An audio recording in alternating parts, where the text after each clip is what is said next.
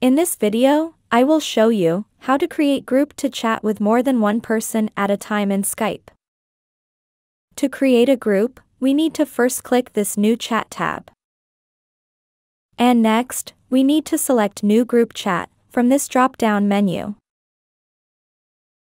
And in the pop-up group window, we need to first enter the group name, based on the group's activity or business.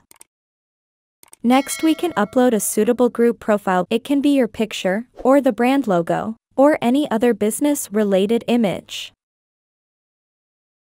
And continue with the group creation process. Next, in this window, we can select the people, one by one, we want in the Skype group, from our contact list.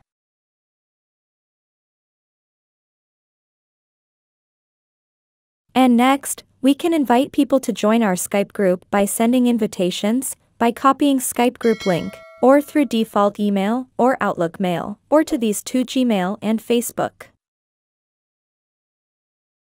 Or we can copy the link that is visible and share on Skype chat window, requesting people on Skype to join the group. When we share any message that is common to all the people, like staff or office mates, groups is a very good option, saving time from individually sending everyone information. And done, with this we have come to the end of this video, please subscribe to my channel and click the bell icon to get updates when we add new content.